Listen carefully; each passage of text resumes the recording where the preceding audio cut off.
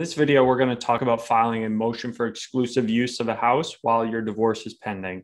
So in Connecticut, when when a divorce is filed, the automatic orders go in into effect, and one of the automatic orders is that you can't keep your spouse out of the house. So you can't lock lock. You know, if you file for divorce, you can't lock your wife out of the house. That would be considered a violation of the automatic orders. It would also be considered a crime in Connecticut. It would be criminal lockout. So you certainly can't do that. So the only ways to get somebody out of the house are through filing a motion for exclusive use of the house in family court or filing a restraining order, but we're not we're not going to talk about filing a restraining order today. We're going to talk about filing a motion for exclusive use.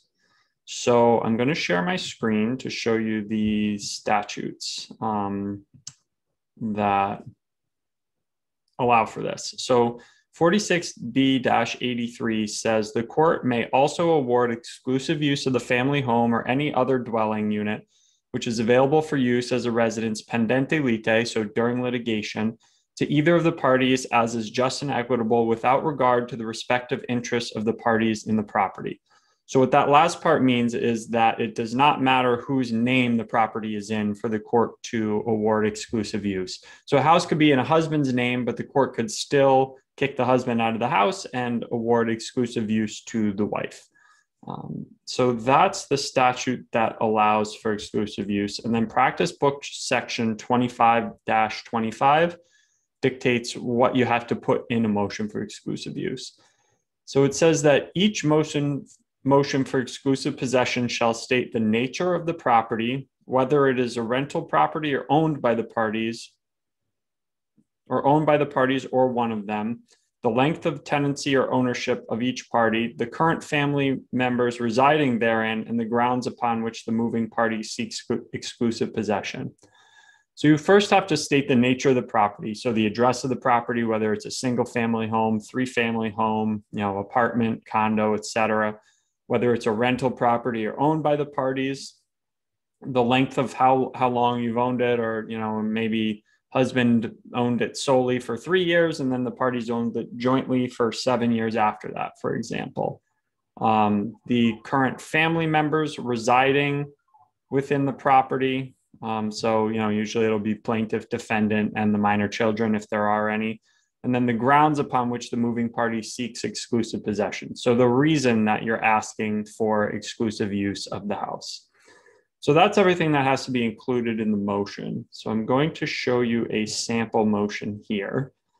Um, so you're just going to caption it motion for exclusive possession, pendente lite, and then you put pursuant to Connecticut practice book section 25-25 and Connecticut general statutes statutes section 46b-83 those are the two uh, the statute in the practice book section i just showed you the plaintiff moves the court for exclusive possession of the marital residence located at and then put the address.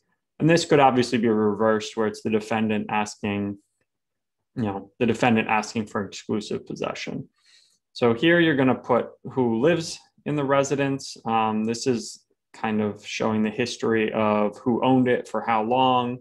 Um, if it's a rental, you obviously wouldn't have ownership. You'd have how long the lease has been in effect. And then you're going to put the grounds for why you're seeking exclusive possession of the house. So here we just put that the defendant continually harasses and berates the plaintiff in the presence of the minor children. It's in the best interest of the children and both parties for the plaintiff to have exclusive possession of the family home. The defendant has sufficient financial resources to secure housing, and he also has family in the area with whom he can stay. So you can really flesh this section out and, uh, you know, just you can elaborate on why you're asking for exclusive use of the house. So that's logistically how the how the motion is drafted and obviously you file it after that. Now the reality on these motions for exclusive use is that it's extremely difficult to have a motion for exclusive use granted.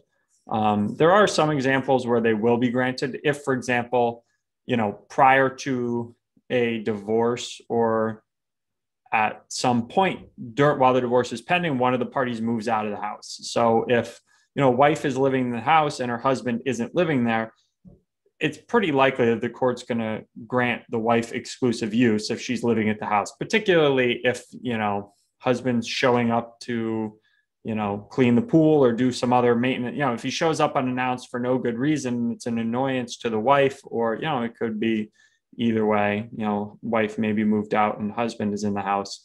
In that situation, it's it's really not good for anybody for one of them to just show up unannounced. So the court would be likely to grant exclusive use or if there's you know high conflict between two individuals and you know it's really not good it, you know it has to be pretty egregious and extreme and the court may grant exclusive use to one of the parties particularly if there are children at the house you know obviously the courts don't want kids put in the middle of conflict between two parents. So if there's children in the house and one of the you know there's plenty of financial resources for one of the individuals to go get another apartment or um, or they have family members in the area with whom they can live in that situation it's it's pretty likely you know i wouldn't say it's pretty likely but it's it's more likely for a court to grant exclusive use to one of the parties but if it's your everyday you know run of the mill obviously in divorce cases there's you know people usually aren't getting along particularly well if it's but if it's regular bickering and arguing that comes, you know, unfortunately often comes with divorce, it's not going to rise to the level of the court ordering one of the parties out of the house. It's just kind of the reality of the situation. So those are kind of the basics on filing a motion for exclusive use.